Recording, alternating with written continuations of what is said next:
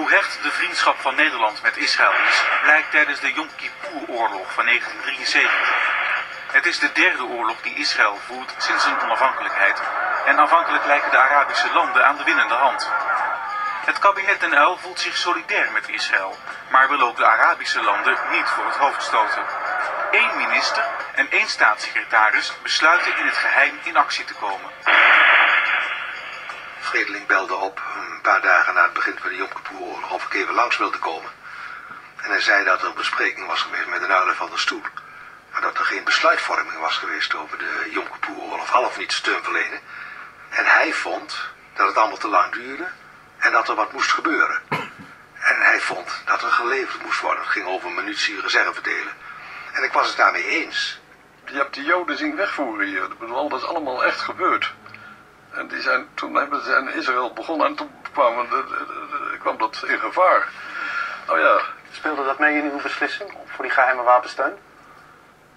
ja, dat, dat, dat, dat, ja, dat ze de, het gevaar liepen van de kaart te worden geveegd. Zeker, natuurlijk, ja. Speelde dat maar om. Dat was de reden waarom ik het deed. Achteraf eh, speelde natuurlijk, zal ongetwijfeld de voorgeschiedenis meespelen, omdat ik me altijd heb geïnteresseerd voor Israël. De Partij van de Arbeid nauwe banden had met Israël. Dat gaat af van eh, op premier Drees terug. En eh, daar was dus een sfeer van, als Israël in gevaar komt, dan helpen wij Israël. Dus ik denk tegen die achtergrond, maar op dat moment was het gewoon ja. In enkele seconden klaar. Dat is eigenlijk nooit goed te praten wat ik gedaan heb. Nee, waarom niet? Oh, dat, dat, dat het niet hoort. Staatsrechtelijk hoort het niet. Maar ik heb het uh, vet accompli willen doen omdat ik wist dat ik, eh, ik... Ik heb altijd zeker geweten dat ik handelde in naam van het Nederlandse volk. Weet ik, dat weet ik nog zeker. Ik bedoel, als het in de Kamer was gekomen, ben ik er nog van overtuigd dat de Kamer me niet had laten zakken. de, de kring was zo beperkt. Er was eh Vredeling, ik en degene van de landmacht die het uitvoerde. Er waren dus drie personen. En daar hield het eigenlijk mee op. Dus niet de bevelhebbers van de strijdkrachten, Nee, nee, niet de minister van Buitenlandse Zaken, Nee, nee.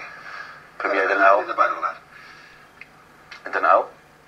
Ook. De Nuil heeft eh, veel later, eh, vlak voor zijn overlijden, heb ik met hem gepraat. En toen zei hij eigenlijk, toch met zoveel woorden, dat hij het niet geweten had. Ik had natuurlijk dat eerst moeten vragen aan eh Den Uyl of ik dat zou mogen doen. Maar omdat ik zeker wist dat ik daar, daar een- dat, dat ik dat niet gedaan zou krijgen, heel in dat moment, want de aarzelingen waren te groot in verband met het gevaar van de reactie van de Arabische kant. De, ja, toen heb ik gedacht van eh, nee is voor mij geen optie. Dus ik doe het gewoon, punt uit. Het was ongeveer een maan- maand of vier, vijf na de Yom Kippur-oorlog dat er een bijeenkomst van de Socialistische Internationale in Londen was. En Golda Meir, de premier toen, die vloog me om de nek, tranen in de ogen, bedankende voor de steun. En Den Uyl, eh, die vertelde dat toen hij weer terugkwam. Zei hij, nou, eh, Golda Meir, ik wist niet wat me overkwam. Vloog me om de nek en eh ontroerd. En Den Uyl dacht dat dat was voor het openstellen van de Nederlandse vliegvelden voor Amerikaanse vliegtuigen. En hij heeft nooit, dus nooit echt geweten wat er aan de hand was. Meneer Den Uyl, wij dachten dat het aardig was om u even te laten praten met Golda Meir. We willen u daar nu de gelegenheid voor geven als de satellietverbinding lukt. Shalom, we erf tov, Gweret Golda Meir. Erev Tov. Shalom, Golda. Can you hear me? Shalom, shalom. Shalom. How are you? How are you? Awfully I- nice of you to come to the studio that we can have Oh, this I'm, talk.